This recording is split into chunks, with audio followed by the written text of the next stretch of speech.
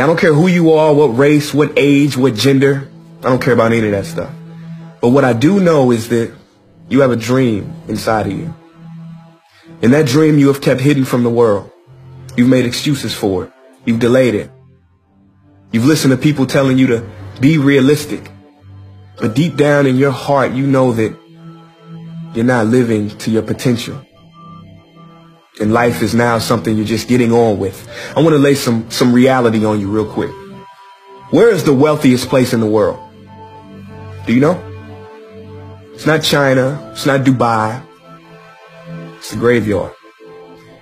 Because in the graveyard, you will find inventions never invented, businesses never erected, songs never sung, books never written, ideas never nurtured, people never realized. Because they were scared to take a risk. Scared like you. But you want to know something else? You're not in the graveyard yet. And every we get one life, right?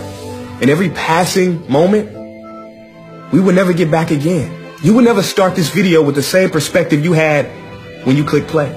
You will never brush your teeth the same way twice in your life. There ain't no rewind button on life. I will never get that breath back ever again. See, this present moment is so precious. We have to be here. We have to be in it and make the most of it. We have to live our dreams now because they are possible. 6,000 years ago, man created the wheel. Only 6,000 years ago. First written language was created. Six, that's it. And if I may remind you, the airplane is only a little over 100 years old. There was no internet 50 years ago.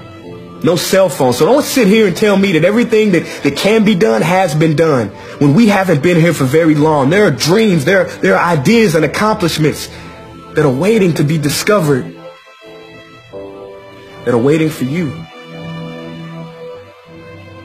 Helen Keller was once asked, what on earth will be worse than being born blind? She said, it will be so much worse to be born with sight but no vision?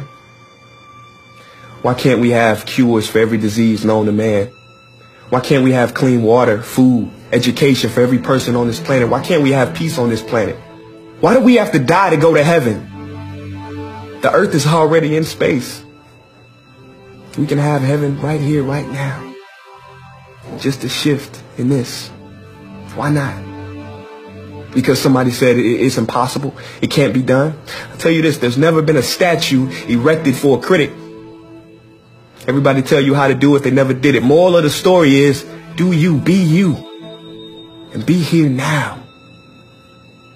Your dreams are possible. Stop obsessing over these celebrities, Kim Kardashian. Live your life. Step into your greatness. You say the average person dies at 25, but it's buried at 75. You know what that means? Unless you figure it out. Don't let this negative world get to you. Don't let it win. Do not go where the path may lead, but go where there is no path and leave a trail.